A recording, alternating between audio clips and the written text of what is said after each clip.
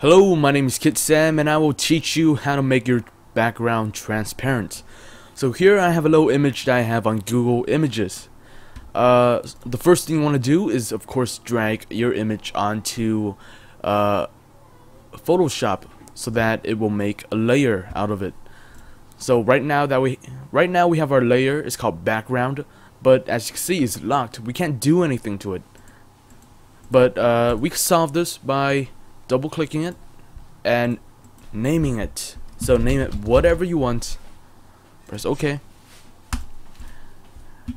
Uh, and then you're gonna have to make. Oh, so right now you could do do stuff to it. You know, it's not locked anymore. Next thing you want to do is click on layer, new, layer new, and then make a new layer. Uh, name it whatever you want and press OK. So as you can see, this is a transparent layer.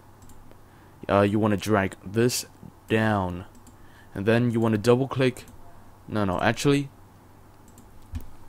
Okay, so after you dragged the transparent layer down, you want to select on your original layer, click the wand tool, click here, and press delete. So after you press delete, it will make everything that's selected by the wand tool transparent.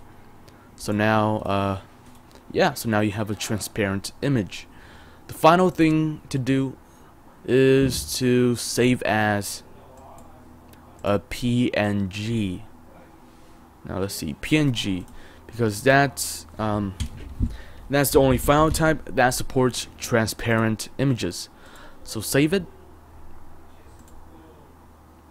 and there you go you just finish uh, making your image transparent. So I hope this helped you and uh, good luck